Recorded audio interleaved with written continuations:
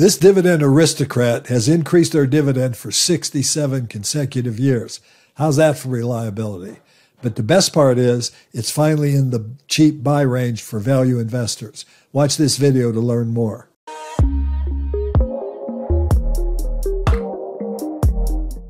Hello, everybody. This is Chuck Carnevale, co founder of FastGraphs, the fundamentals analyzer software tool, aka Mr. Valuation.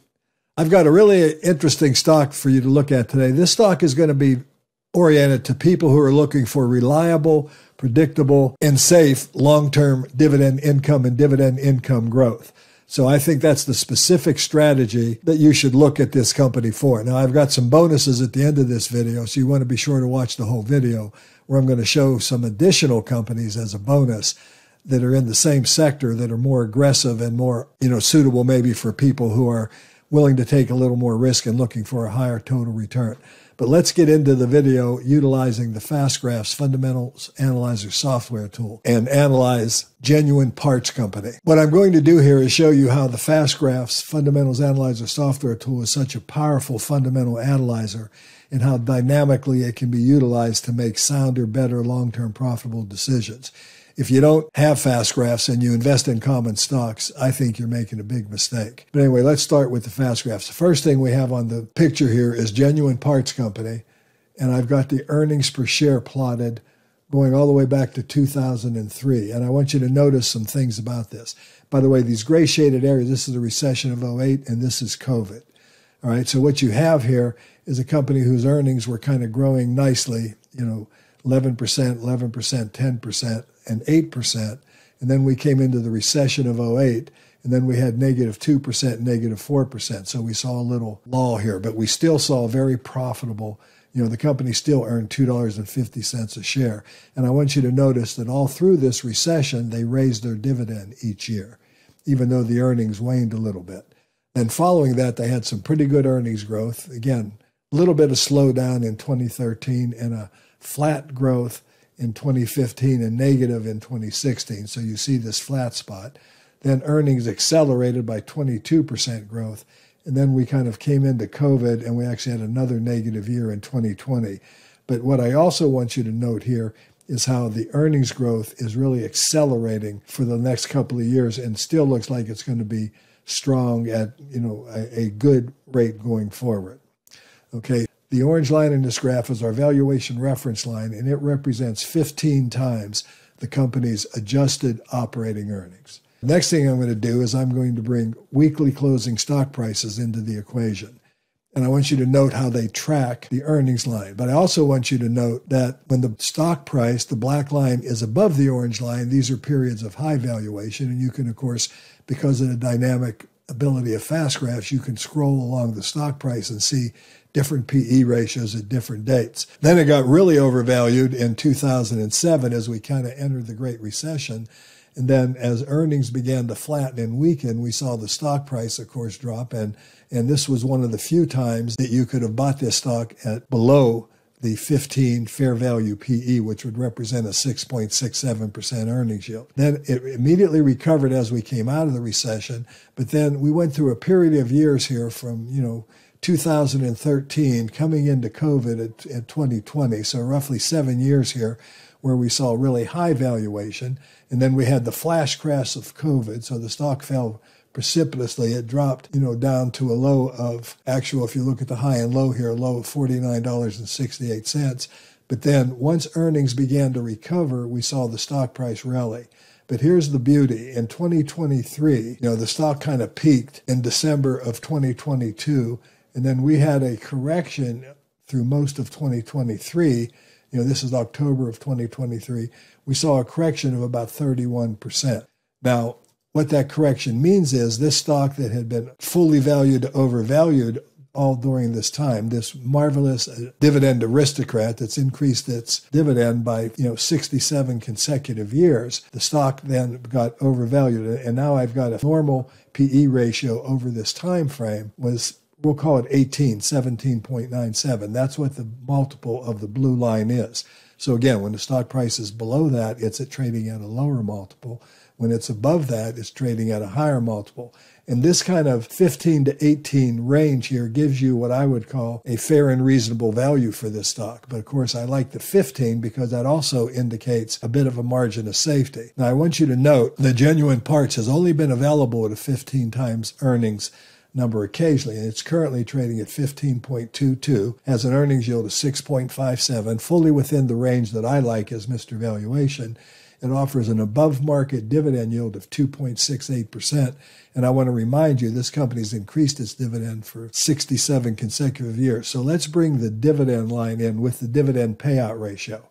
That's the white line on this graph. Now, I want to make a point. This stock I'm looking at as an interesting candidate for those investors who are looking for safety, predictability, reliability, and consistent dividend growth. Okay, it's not the highest potential rate of return investment you can look at, but it's very, very predictable. The white line, of course, is the most predictable line on the graph, and that's the dividend with the dividend payout ratio. The area below the white line is the dividend payout ratio.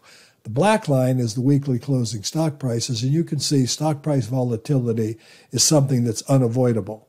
The question is to recognize when the market is overvaluing a stock, when it's undervaluing a stock, or when it's valuing a stock fairly or correctly. That's the beauty of having a tool like FastGraphs.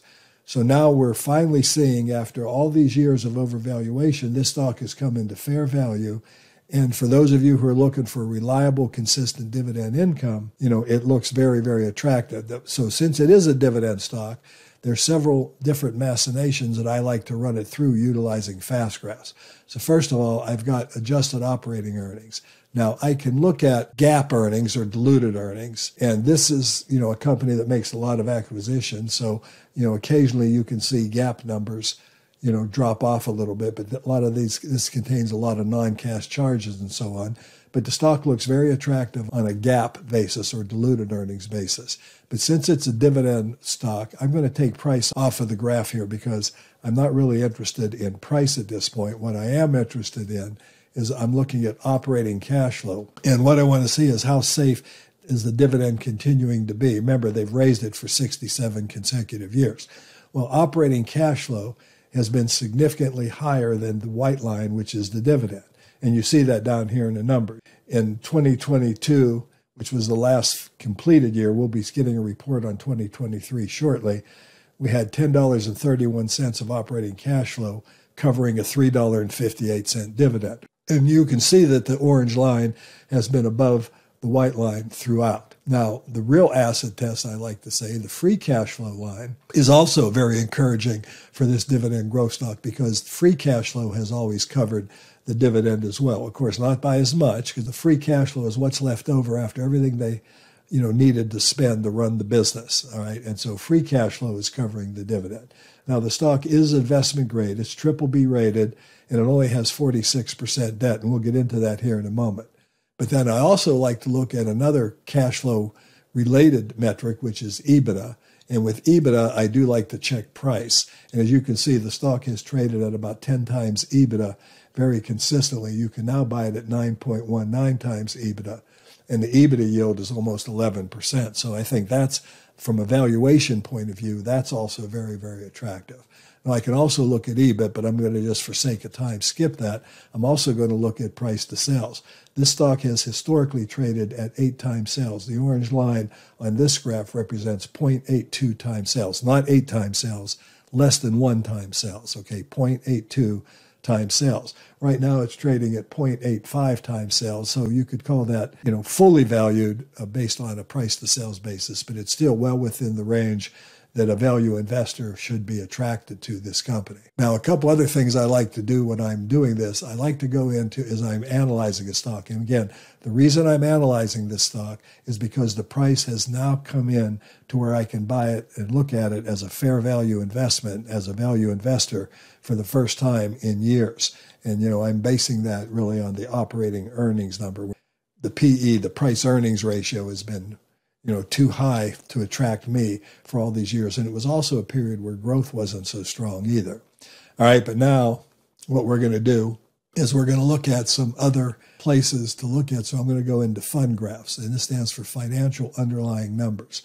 And I do want to look at the balance sheet, and I do want to look at things like long term debt, okay, and then I want to look at total debt. And what I want you to note here is that most of their debt is long term. Now, they have taken on more debt in you know, recent years after COVID than they historically have. But if I go to the quarterly number here, I want you to notice that. Let me um, let me take long-term debt off for a while. I want you to notice that you know debt. They're beginning to reduce the debt a little bit, but the debt is fully manageable for a company of this size. Now, I also like to go into fiscal fitness, and what I want to see is I want to see free cash flow greater than the dividend, which we already talked about that. And clearly, the green bar here is free cash flow. The purple is the dividend, and we see that the free cash flow is covering the dividend. I also like to see operating cash flow greater than net income. And we also see that, you know, the net operating cash flow is the red and the net income is the green. You know, sales revenue, I do want to see it positive. It's been growing at about 9% since 2021 in recent years. And then I also want to look at the all important margins. All right, I'm looking here at operating margin. Gross margin has been about 34.77%. Operating margin about 8%. And then net margin has been about 6%. And net margin, I want you to note here, has been increasing. So these are all positive signs of the quality of this company. Okay, now, just for sake of this video, I would also go in the financial statement I would look at through the income statement, the cash flow statements. I would do more research as I'm examining. But again, for the sake of this video, let's kind of keep it simple here. All right. So what I conclude from this is that I've got a company here with a great dividend record. So let's go into performance and let's look at it from performance. Now, going from the max that I can do on FastGraphs, that goes back to January 3rd, 2003 to January 24th, 2024. Okay, and what I see if I compare this to the S&P 500, a couple of things really strike me. Number one is the company has generated twice the income of the S&P 500. It's also generated slightly more capital appreciation than the S&P 500, and it's also generated a total compounded return that's greater than the S&P 500. But since this is a dividend video, the fact that it raises so much more dividends than the S&P. Now I can also reinvest the dividends and evaluate that if I don't need the money, and then we get a really great, you know, advantage over the S&P. Look at the dividend income that we've reinvested versus reinvesting dividends in the S&P, and then the total return is substantially better than the S&P. So, you know, the company actually has been, but now keep in mind one thing I've always talked about is that the valuation, measuring performance without simultaneously measuring valuation is a job half done. This company started out fairly valued and has now ended fairly valued. So with a seven and a half percent growth rate, what I want you to notice is that's almost exactly what the company, without reinvesting dividends here, that's almost exactly what the company generated in terms of annualized rate of return without the dividend. And the point about value investing is when you buy a stock at fair value, you position yourself to fully participate in the growth of the business. So when I'm going apples to apples, fair value to fair value, I ended up with my 7.4, 7.5 percent rate of return. And then, of course, since this area is the dividend, this area below the white line is the dividend income. And when I stack that on top, I do it as a metaphor because what I want to show is that you got capital appreciation, which is the price going from point A to point B, but then you also additionally got this dividend income paid out to you. And that's how the performance report is talked about. So let's talk about the future. Analysts expect this company to grow at about 8.72% over the next couple of years. And again, that indicates a fair value 15 PE. That would give us a double digit rate of return you know, assuming the company earns this money. And I do want you to notice when we look at the earnings estimates for 2023, analysts steadily increased the estimate to 927, but they are kind of giving us a little lower estimate. Six months ago, it was 1002. The most recent estimate was 985. Now they're saying 987. So they're starting to increase it again. And, you know, with the 2025 number with only nine analysts. We also see a pretty steady, you know, pretty consistent. This is all within a reasonable range here. And then there's only two analysts forecasting for 2026. So they're forecasting 11.9, and that's actually increased from six months ago, but it's also decreased from three months ago. from an analyst scorecard point of view, on the one year estimate, because of the consistency of this company with a 10% margin of error, they've only missed 8% of the time. On two year with a 20% margin of error, they've literally, you know, beat or hit estimates 100% of the time. So I also really like the analyst scorecard here. Now, if the market were to also apply the premium valuation, which is that normal multiple, which the last five years it's been 19. But let's go back to the you know roughly 18 multiple that I showed you at the beginning here. We'll use 17 years and do 18.18.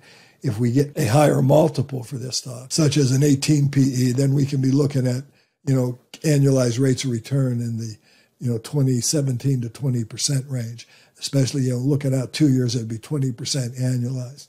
And so I think with the quality of this company, the predictability of the company's dividend, this looks very, very attractive to me right now. I finally like it because it's come into fair value. Now, I mentioned at the beginning of this video I was going to provide a bonus. And what I've done is I've gone into the consumer discretionary auto parts sector.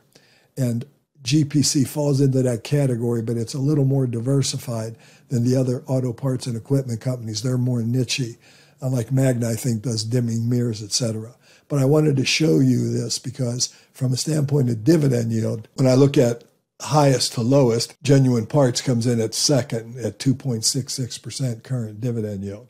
The highest dividend yield is Magna International. When I look at earnings yield and I put it in order, GPC comes in last at 6.51%, but that's again expected for this conservative company. All of them have investment grade credit ratings. They're all triple B except Magna, which, by the way, is a Canadian company, has an A minus rating. The dividend compounded growth rate for these companies, Genuine Parts has the lowest number, but again, it's the most predictable, as I'll show you here in a moment, because it's one that's they've paid one for 67 consecutive years, and none of these other three can show you that. All right, so looking at this from you know this perspective here, earnings growth for Genuine Parts is going to be the lowest of the three. All right, and you know, an, annualized rate of return is going to be the lowest of the four. The, I said three, lowest of the four. But now let's go ahead and let's put these in alphabetical order, and let's look at these this bonus section. These are additional companies in this sector, and I have a couple of things I want to point out. So starting out with Autoliv, I want you to notice the analysts are very, very sanguine about this company's growth prospects going forward. The forecasting growth for this company is over 22%. That would give you the ability to be generating, you know, 45 to 60% annualized rate of returns if the company generated these kind of earnings and if it traded at a PE ratio equal to the growth rate, which is what a high growth situation like this would indicate. But I want to point out this has been a very cyclical company.